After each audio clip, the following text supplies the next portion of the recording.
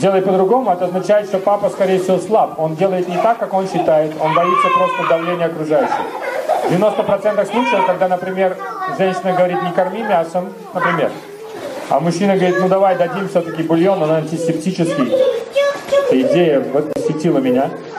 Бульон как антисептик. Вообще-то бактерии разводят в бульонах всегда. Если что, в лабораториях бактерии разводят именно в бульоне. С каких пор он стал антисептическим, я не понял. Но папа говорит, давай будем кормить. Это означает, что это на 90% не его убеждение. Он боится, он слабый человек и боится давления старших. Он не может защитить жену от давления старших, коллег, окружающих, родителей, понимаете? Но делает вид, что он в этом убежден. На самом деле это не его убеждение чаще всего. И поэтому женщина должна просто настроение правильное принять. Она должна не спорить с ним на точке зрения, а просто попросить защитить. И все. Защити меня от давления извне. Я бы хотела так воспитывать ребенка.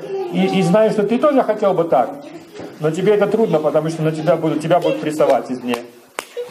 Поэтому я тебя прошу, выдержи этот прессинг. Будь мужиком. Стань вегетарианцем. Есть такое, на Украине есть такое движение морквоеды. У них эмблема заяц такой, озверевший заяц с морковкой такой.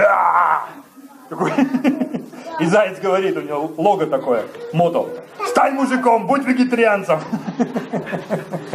Вот жена так говорит, стань, пожалуйста, мужиком, будь вегетарианцем, защити нас. И в этом смысле муж и жена должны выработать коалицию. Мы должны выпустить э, ультиматум о том, что в нашей семье мы решаем, как кормить и воспитывать детей. Это очень важно. Если муж это не примет, это путь к разводу. Дорогой мой, не пытайся лавировать, защити просто наши ценности. Иначе я не чувствую себя защищенным. Но если люди не могут, муж и жена не могут договориться о вопросах воспитания детей, значит дело вообще не в детях. Они просто не умеют договариваться. С этим надо что-то делать. Они могли бы так ссориться по любой другой теме. Из-за секса, из-за денег. Да? У них что-то сломано вообще во взаимодействии, понимаете? Ребенок тут ни при чем. Значит, надо заняться этим.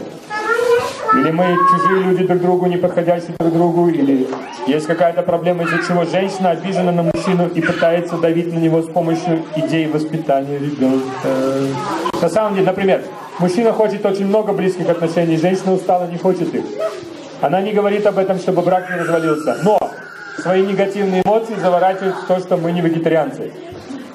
И выдает их в такой форме, что мужчина не может их принять, начинает сопротивляться. Это есть проблема, скрытый конфликт. Когда настоящая тема конфликта у супругов спрятана, а заворачивают в какую-то более актуальную, ну, какую-то внешнюю сферу. И не могут понять, почему мы не можем договориться. Я говорю, потому что вам, мадам, пора сказать, что вам не нравится столько близких отношений и так, как муж хочет. Вегетарианство тут ни при чем.